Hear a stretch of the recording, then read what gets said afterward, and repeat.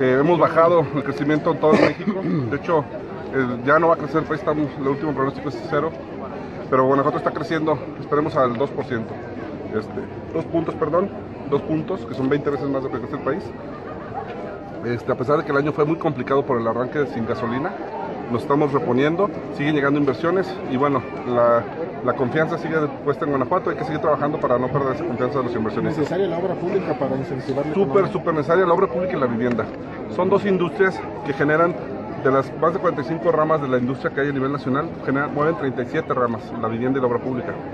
Y son este, aquellas que generan mucho empleo directo e indirecto. Entonces, por eso estamos pidiendo la línea de crédito de los diputados. Ojalá no tarden en aprobarlo, porque de ahí le vamos a inyectar a obra pública para los municipios y sobre todo tema de vivienda. Vamos a dar subsidio de vivienda, ya dije 100 millones de pesos para que sigan incentivando la construcción de vivienda económica, vivienda para los que menos tienen.